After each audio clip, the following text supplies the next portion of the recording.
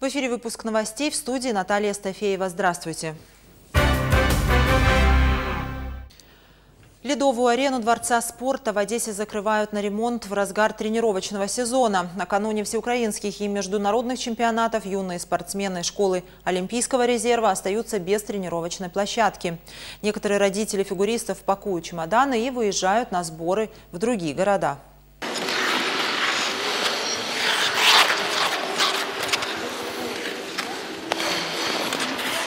Это катаются Ирина и Михаил, призеры международных соревнований. Только вчера фигуристы приехали из Польши с серебром, а сегодня дети тренируются уже без музыки. Специализированная детская юношеская школа Олимпийского резерва должна освободить помещение. Есть площадка «Льдинка» для малышей, но там профессиональным фигуристам не разместиться. Когда ты въезжаешь на какие-то соревнования ну, европейского уровня, там обычно есть большой лед. Есть определенный рисунок. Если мы будем кататься на льдинке, то мы вообще по рисунку никак не сможем ехать. И скольжение будет намного меньше. На соревнованиях у всех ну, большой ход. И если ну, вот так вот перейти, то все потом ну, перестанут приезжать какие-то победы.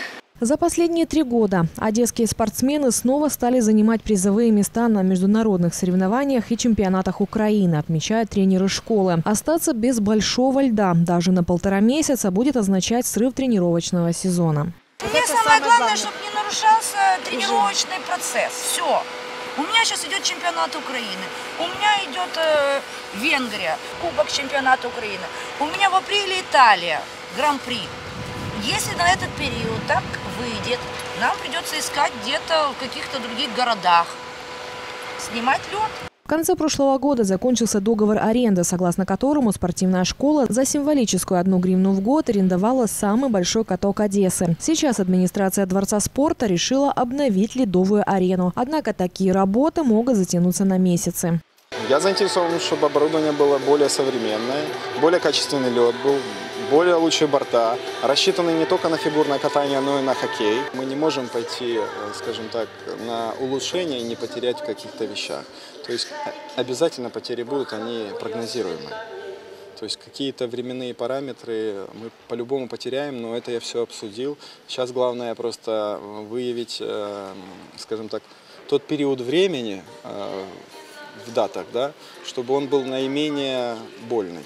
С новым оборудованием и оператором для обслуживания понадобится больше времени для коммерции, уверена директор школы. И время на тренировки спортсменов, по крайней мере бесплатные, может значительно сократиться.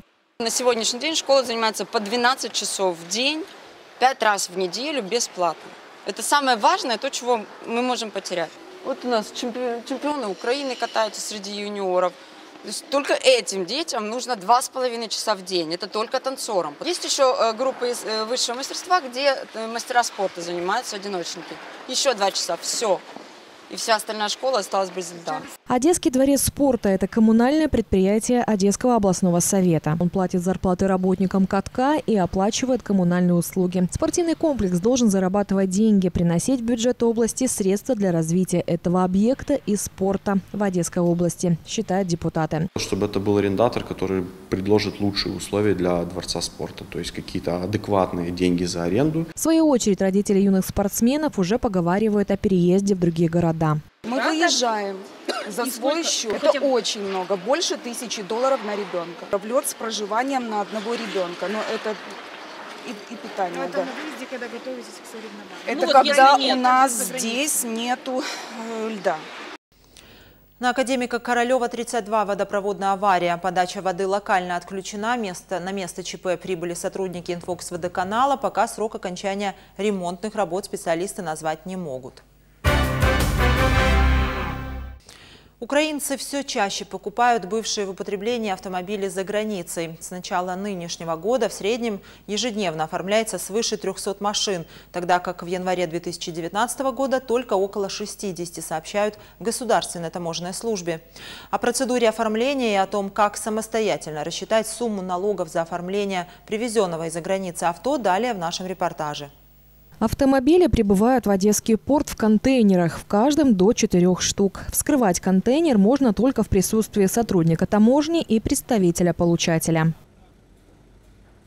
На даному етапі ми бачимо, як проходить розформування транспортних засобів, які прибувають на частних ліц з території Америки, Мексики, Канади. Бачимо, що проходить е, вивантаження з контейнерів транспортних засобів, які прямують на оглядовий майданчик, на якому проводиться фізичний огляд представниками брокерських фірм та спеціалізовані підрозділи, які проводять е, сертифікацію та огляд транспортних засобів з метою визначення їхніх якісних та кількісних характеристик. Машины для продажи в Украину, как правило, приходят через аукционы, где указана их цена и техническое состояние. Однако некоторые повреждения можно определить только визуально. Поэтому после выгрузки из контейнера автомобили отправляют на специальную площадку, где они будут ожидать оформления и подачи таможенной декларации. Нам потрібно знати інформацію, коли прибуло судно, е, які контейнери були на цьому суднові, і який товар був саме в контейнері під конкретним номером і від якої дати. Тобто для цього потрібно декларантам подати певний пакет документів. Тобто по поводу наряди, де вказано контейнер, номер, дата від якого цей контейнер прибув, відправлявся, і інформація по товару. Таможенное оформление автомобиля начинается после подачи декларации в электронном виде. Сумму таможенных платежей можно предварительно рассчитать при помощи онлайн-калькулятора. Сюда вносят данные о марке автомобиля, объеме двигателя, страну производителя и год выпуска машины, после чего будет рассчитана ориентировочная стоимость растаможки, которая может изменяться в зависимости от курса доллара. Обычно этим занимаются таможенные брокеры, которые на основании договора с заказчиком собирают все необходимые документы. Сотрудники таможни, в свою очередь, проверяют информацию о машине и оформляют декларацию. Бачимо, на прикладі цієї декларації оформляється Volkswagen Passat 2011 року випуску, модельного 2012 року. Бачимо його пошкодження. Машина, можна сказати, що, що суттєво пошкоджена. Відповідно, ціна його купівлі складає 1950 доларів США, з яких 400 доларів є е, вартістю доставки з аукціону до е, порту Одеса. Время оформления автомобиля таможни около 30 минут. После этого автомобиль считается растаможенным, и владелец может им распоряжаться по своему усмотрению. В середньому кожен день прораховується від 15 до 20 мільйонів гривень до держбюджету України. Е, Якщо порівняти 18-19 роки, е, в 2018 році було прораховано 2,4 мільярди гривень, то в 2019 році вже було е, прораховано 3,9 мільярди гривень. Тобто тенденція на зростання, на таке значне зростання майже в два рази.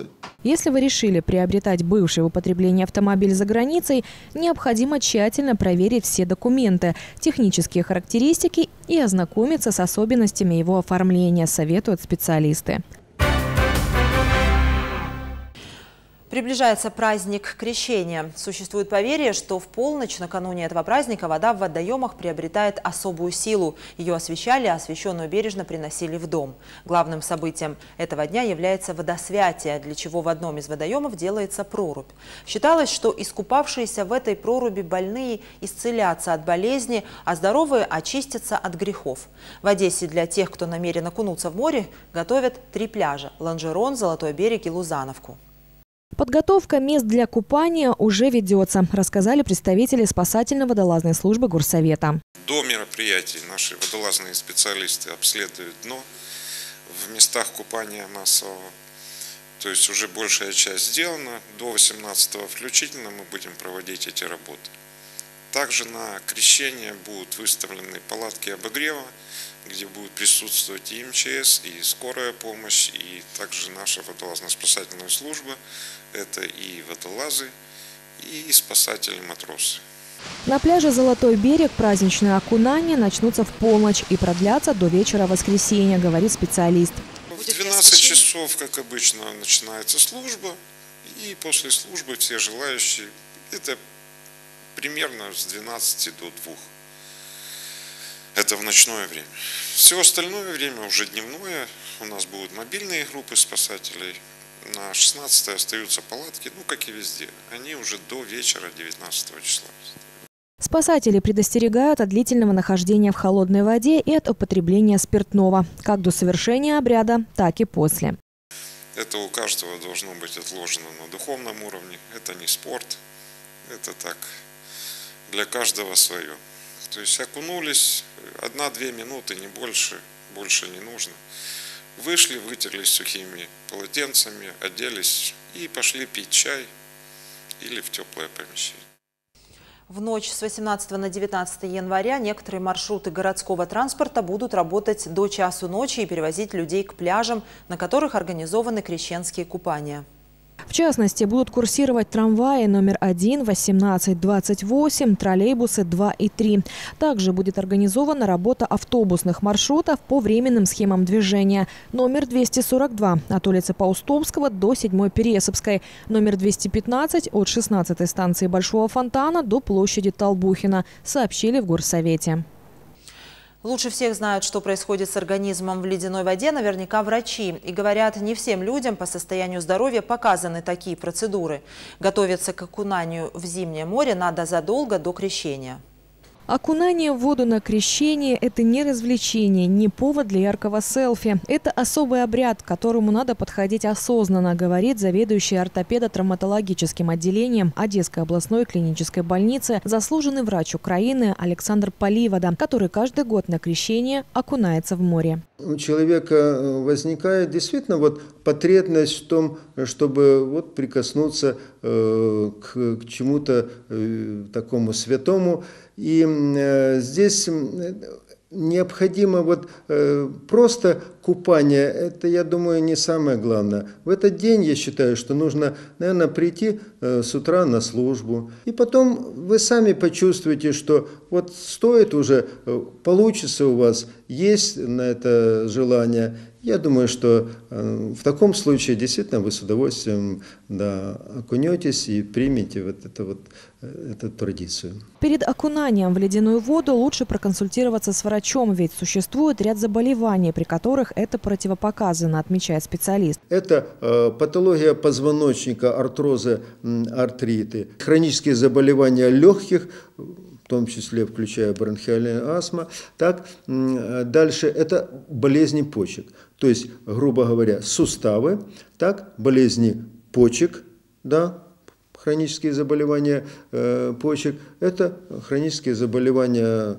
э, да, лор-системы вот это, если есть, то лучше воздержаться, либо посоветоваться с врачом. Расхожее мнение о том, что после пребывания в холодной воде можно согреваться алкоголем, врач категорически опровергает. Ни в коем случае не до а, а, погружения э, даже вот в этот э, святой, святой день, ни после, ни в коем случае нельзя принимать алкоголь.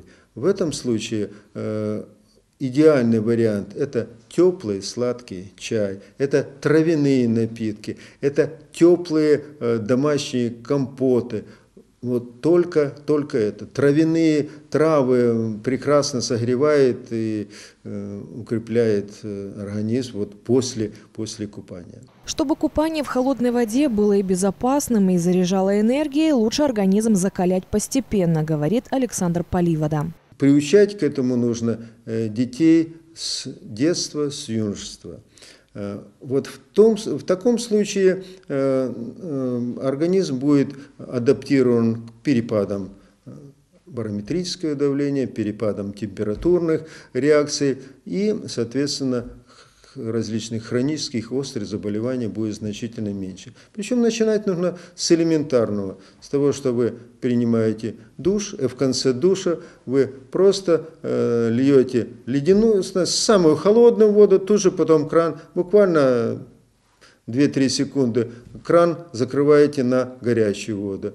Э, через э, следующий раз, и так три раза как минимум повторить, хотя бы до коленного сустава, вот стопы, коленный сустав. Потом вы можете переходить уже на, там, выше и все тело э, обливать водой, уже вот такими контрастной водой. Начинать закаливание лучше в теплое время года, советуют специалисты. И делать это регулярно и целенаправленно. Если человеку на улице становится плохо, если кто-то потерял сознание, приехавшим по вызову врачам необходимы некоторые данные, чтобы оказать квалифицированную помощь. Если человек не может ничего сказать, приходится тратить драгоценное время на выяснение важных сведений о группе крови, наличии заболеваний. Согласно данным специалистов, более 165 тысяч жителей Одессы и области нуждаются в постоянном наблюдении. Это инвалиды, люди с проблемами сердечно-сосудистой системы, нарушением памяти, больные диабетом, диабетом, инвалиды по зрению слуху. Наличие у этих людей специальных ID-браслетов поможет спасти жизнь. В Одессе реализуется первый в Украине проект по выдаче браслетов экстренной помощи.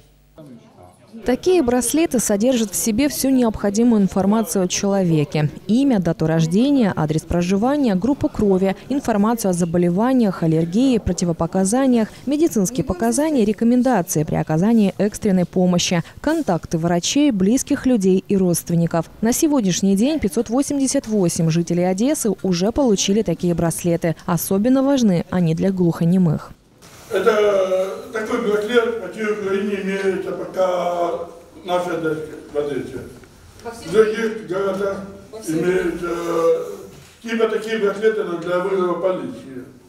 Но на медицине еще нет. Но я считаю, для глухой медицина в первую очередь стоит, чем полиция. Полиция, ладно, это если человек упадет без сознания, как определить? Это, этот браслет я надеюсь, что эти браслеты будут пойти Украины. В случае выявления такого браслета на человеке, который находится в беспомощном состоянии, любой гражданин с помощью смартфона может отсканировать QR-код и увидеть информацию о пострадавшем. Браслеты, браслеты, это для глухих, я не знаю, это, ну, понимаете, глухому по дороге станет плохо. Переводчика рядом нет, врач подойдет, начинает спрашивать, что, что, ну, никак. А тут она сканировала, там даже что как, какие у них аллергии, каких лекарств, какие у них какие болезни, группа крови, даже адрес, телефон, кому можно позвонить, вызвать. Вы представляете, что такое глухого? Для людей с нарушениями слуха и речи наличие таких браслетов особенно важно. Ведь без переводчика глухому человеку общаться с врачом сложно, говорят в обществе глухих. Наличие такого браслета решит эту проблему. Совсем другой браслет будет носить фигурант скандала, бывшая исполняющая обязанности начальника региональной налоговой службы Наталья Чеботарева. После того, как суд избрал для нее меру пресечения пребывания в СИЗО или залог, за нее внесли 904 тысячи гривен. Таким образом, чиновница, подозреваемая в даче взятки прокурору, на свободе. Она должна носить электронный браслет, сдать на хранение загранпаспорта и выполнять ряд других требований. Напомним, начальницу налоговиков Одесской области подозревают в том, что она предлагала прокурору ежемесячно 25 тысяч долларов за непрепятствование коррупционной деятельности сотрудников ее управления. Еще два района Одесской области, Татарбунарский и Ширяевский, получил новых руководителей. Согласно указу президента, Татарбунарской райадминистрации будет руководить Андрей Чечила, Ширяевской – Петр Гордиенко. Напомним, ранее Зеленский подписал распоряжение о назначении новых руководителей пяти районов Одесской области. И вновь о предстоящих крещенских купаниях. Наши корреспонденты отправились на Ланжерон, чтобы посмотреть один из пляжей, который обустроят для ритуального окунания. Море в Одесі сьогодні досить бурхливо. Температура води приблизно 9 градусів. Отже, пирнати та плавати сьогодні не наважуються навіть чайки. Пляж Ланжерон – один из трех одесских пляжей, где в ночь на воскресенье 19 января будут происходить организованные крещенские купания – к этому времени сотрудники спасательно-водолазной службы Одесского горсовета обещают провести обследование и расчистку морского дна. Сегодня купающихся одесситов мы не встретили, зато удалось пообщаться с любителями прогулок у моря. Располагает к хорошему настроению вид моря, чайки, гуляющие люди. Красиво, добротно. Не, вообще расслабляет, успокаивает. Ну, не совсем часто, как есть время. Во-первых, это свежий воздух. Это всегда э, приятный вид, скажем так. И всегда это обязательно, ну, посмотреть на людей, во-первых. Очень много людей приходит, на самом деле. Сегодня, к сожалению, пусто. Я не знаю, может рано, может э, просто очень холодно. Но обычно людей гораздо больше. Окунаться на крещение – это слишком экстремально, считают некоторые наши собеседники. Конечно, нет, холодно. Нет, не будем. Мишка, ты будешь купаться? Да. Нет. Тебе еще рано. Нет, нет, холодно очень. Нет, купаться нет. Это я не рискую, у меня слабый иммунитет, это я не рискую. А вообще приятно видеть, когда люди даже в такую погоду иногда, бывает, окунаются в воду. В то же время многие жители города с нетерпением ждут 19 января, чтобы окунуться в ледяную воду, говорят одесситы. Как выяснилось, многие горожане каждый год окунаются в ледяное море или в другие водоемы. На крещение я всегда купаюсь. Да, в море. Вот еду в затоку, там сестричка приезжает. Непосредственно в Одессе на море э, я купалась только трижды, но особого удовольствия не получила, к сожалению. Вот, я езжу в Винницкую область, в город Гайсин. У нас э, делают специально прорубь, специальные ступенечки. Мы там купаемся. Наша церковь местная делает уху, делает глинтвейн для людей, которые непосредственно принимают участие в крещении. Кто-то регулярно купается в холодной воде и готовит организм к стрессу. Кто-то просто верит, что при окунании в море в этот день вреда для здоровья не будет. Я думаю, что это непосредственно как бы морально, вот, э, ну, душой ты готовишься, что ли. Я знаю, что в этот день я обязательно буду купаться. Сказать, что это какие-то религиозные, там, мои убеждения, нет. Ну, как-то вот уже 6 лет я этим занимаюсь, и я очень рада, не болею. Главное, веришь, что все будет хорошо. Ты выходишь с воды, это счастье. Первый раз я иду купаться всегда 1 мая. Это у нас закон. Мы ездим даже на Бух. Если там Бух падает маленькая речушка корабельная, и с кумами там уже два раза призы зарабатывали. Там течение сильное. Вот кто переплывет, тот получает вот такого барашка или поросеночка. Да, да, два раза. А тут просто так. Ну, сейчас море, льда нет. В прошлом году лед был. Уже так, знаете, ну, интересно. Эмоции, которые испытывают люди при окунании в холодную воду на крещение, трудно выразить словами, говорят жители города. Почему я это делаю? Ну, во-первых, это ощущение непередаваемое. Э, Я не могу объяснить вам. Это надо попробовать, чтобы реально понять, что это такое. Поэтому советую всем попробуйте. Ну, как это же обновление. В крещении искупаться это, ну не знаю, святость какая-то, наверное. А некоторые одесситы когда-то окунались в море зимой, но в силу каких-то обстоятельств сейчас не делают этого. Купалась когда-то в молодости. Сейчас боитесь? Сейчас как-то, да, опасаюсь немного. Да сейчас как-то все время нет с, с детьми. Может, и схожу. Вы меня так сейчас вдохновляете, может, и схожу. Есть и такие, кто с трудом представляет себе ныряние в холодную воду. Я вообще не люблю холодную воду. Я не люблю, когда мне холодно, вот прям. Особенно вода холодная. Я мерзляк, как говорится. Из моей семьи, ну там мама, папа, бабушка, дедушка, они никто не купаются. Не знаю, чего я спрашивал, может, пойдем покупаются. Она говорит, ты хочешь-то идти? Я говорю, нет. В любом случае необходимо прислушиваться к своему организму, который подскажет, стоит ли вам окунаться в ледяную воду или все же просто понаблюдать, как это делают другие. И это вся информация к данному часу. Спасибо за внимание. А выпуск продолжит прогноз погоды. Я с вами прощаюсь. Желаю хороших новостей и всего доброго.